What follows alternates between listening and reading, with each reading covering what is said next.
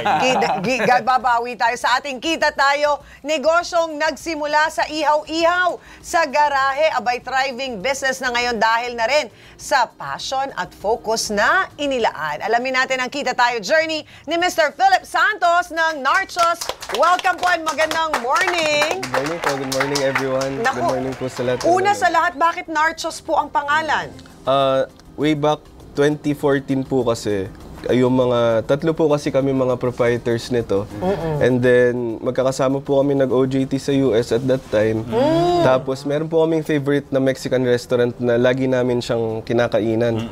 So, nung nakabalik po kami dito, ah, gusto po namin i-share din dito sa Philippines, sa mga friends, family, yung pagkain po. So, ang nangyari po is, a year after, lumabas po yung Narcos, yung uh, series. Yung series. So na parang pang- oo. medyo naging inspiration po namin siya na medyo parang underground-ish yung datingan, ganyan. so yun Ah, po. may ang- pa-mystery ganyan ang datingan. Oo. So yun, kaya yun po Naging- yung naging ano naging namin. for- narco, Narcos, narchos. opo. Oo, kasi yung series na yun eh, narco, di ba? Tama ba?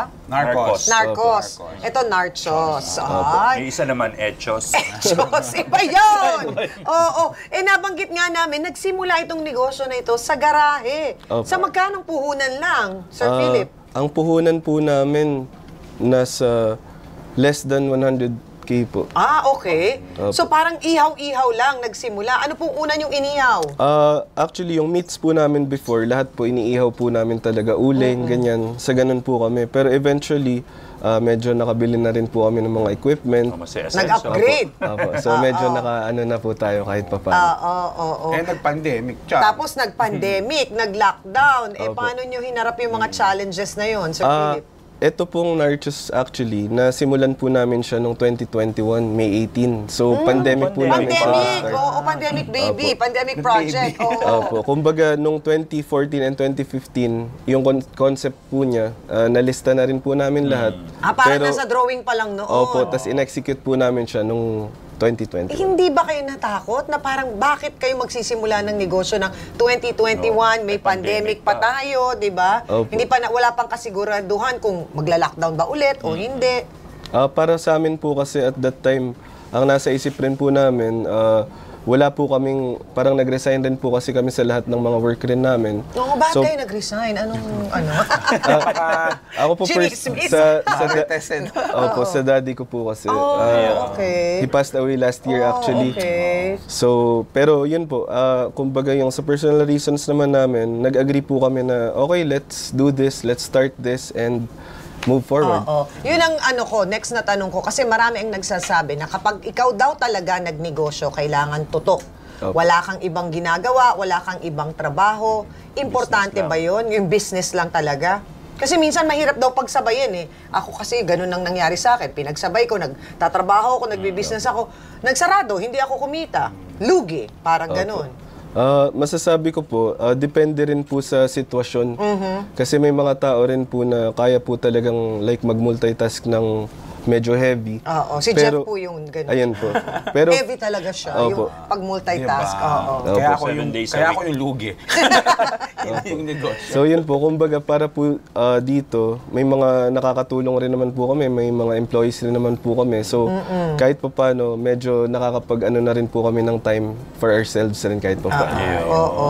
Bibihira ang ah, merong Mexican na restaurant, di ba? Or yung Mexican cuisine. Opo. Bakit ito yung naisipan nyo? Kasi ngayon, ang usong-uso, Korea, di ba? O lahat Korean. Ang daming nagnegosyo nung ah, pandemic ng ah, mga chicken, ganyan. Bakit kayo lumihis dun sa nauuso? Ah, hindi naman po sa lumihis, pero ito po yung gusto po namin talaga. Ayun. From So, way before. yung gusto yung passion talaga. po namin Yung rin passion. na ma-share yung Oo. Mexican food. Paborito po ba ninyo itong mga ganitong nachos, ganyan? Opo, lahat po actually. Ah, meron rin po kaming mga collaborations kasi Filipino-Mexican po siya. Ah, So, okay. ah, meron po kami, for example, meron po tayong isaw manok and isaw baboy from Mang Laris sa UP Diliman. Kung Ah, so kinukuha niyo po ito kay Mang Laris? Opo. Ah, di, di kilalang kilala si Mang Laris eh, di ba? oo. Oo, So, sa UP. ako, Mang Larry po. And yung iba po rin naming food, ah, meron din po kaming bacon, mga homemade rin po namin. Apo. Then meron po kaming chicken barbecue, chicken inasal. So ito po mga. Na anong ang anong ang tawag dito Ke- ah, quesadillas parang gano'n Ah, tacos po. Opo. ito pala yung quesadillas Opo, yun Oo. po yung quesadillas. Meron po tayong shrimp quesadilla Ay, and oo. beef quesadilla po. ito natikman ko yung beef Opo. may ebidensya pa dito sa gilid sa Ay, tabi natin switch tayo mamaya. switch tayo mamaya ito mo naman Basta shrimp nilagay talaga. Opo, Oo, oh, shrimp. Bakit naisipan nyo naman na merong parang shrimp, hindi puro lahat eh, eh beef? Ah, ang nasa isip po kasi namin dito sa Mexican business namin na gusto namin gawin, Mexi- Filipino-Mexican business, Oo. is ma-incorporate rin po namin yung lasa ng Pilipinas at ng Mexican food. Oh, yung kultura natin. Yung din, kultura po syempre. natin, Oo, ayun po. oo, oo. Eh dito sa pagninegosyo ninyo, ilang taon na bale? Ah, magsi-second, magto two years po to kami two this years. May 18. Oo. So, ayun po. Ano yung pinaka-importanting lesson po na natutunan ninyo, Sir Philip? Um, when it comes to, you know, sa pagninegosyo? Ang pinaka-importante po is kailangan, una sa lahat, mahal mo yung ginagawa mo, mahal nyo yung Oo. may passion po tayo para dun Talagang sa... ka- parang akala mo, eh, asawa mo na yung negosyo eh, no? Ganun eh. Kailangan tutok talaga eh, no? Opo. Focus. Oo. Ano pa po? Ah, yun po. At saka wag po kayong mawalan rin ng pag-asa. For example, meron po tayong mga ah, of course, in any business naman po, meron naman po yung mga positive and negative. So dun po sa mga negative, try po natin gawin na ah, sila po yung mag-fuel sa atin to do more, to do better. Yeah. Ayan po. Oo. Sa isa ganitong negosyo na pagkain, importante ba na yung marami ang klase na pwedeng pagpilian o Maraming mas choices. ikaw yung oo, maraming choices o ikaw yung tipong eto lang tayo May apat. specialty talaga. Oo, specialty natin to. Safe tayo dito para yung quality makokontrol Mm. natin, alam natin kung paano alagaan.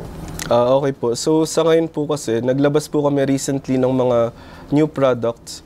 So, pero nag-start po kami ng konti lang po talaga yung core namin. Nag-start po kami ng tatlo lang po. yun. Tatlo lang. Hanggang sa oo. medyo naka-build na po kami rin ng mga ano sa mga tao.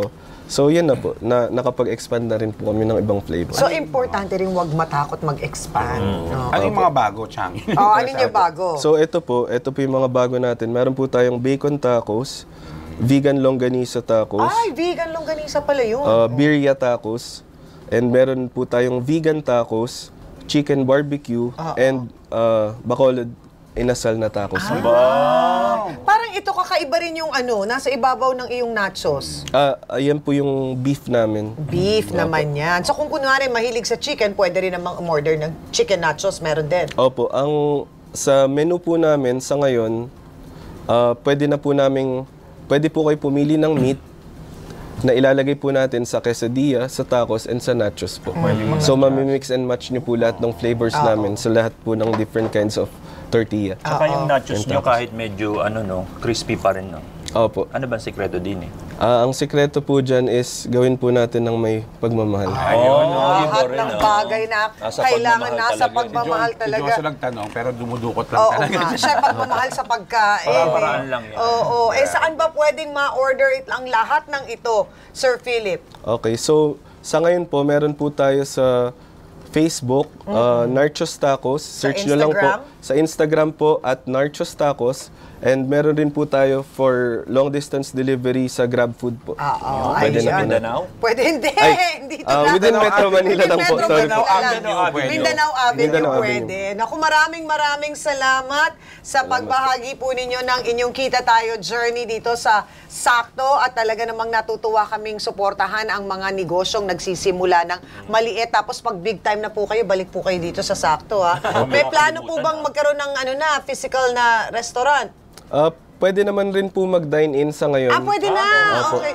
Saan Pero po? sa 70 Maayusin Street, UP Village, Diliman, Quezon City. So, Ah, po malapit sa Maginhawa. Oo. Ayun, maraming maraming salamat Sir Philip Santos ng Narchos. O, ready na ba Thank you, kayong sir. kumain? Mukhang game na game na kayo. Kanina pa kayo Hindi ko pa- kumakain. Iba na lang hindi Yung sa bandaron. Oh, sige.